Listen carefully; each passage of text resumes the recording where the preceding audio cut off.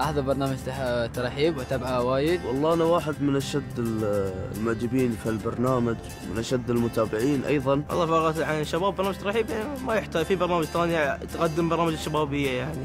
برنامج ترحيب ما ناقصه شيء صراحة. مواضيع تهمنا وتهمكم. تشوفونها في ترحيب.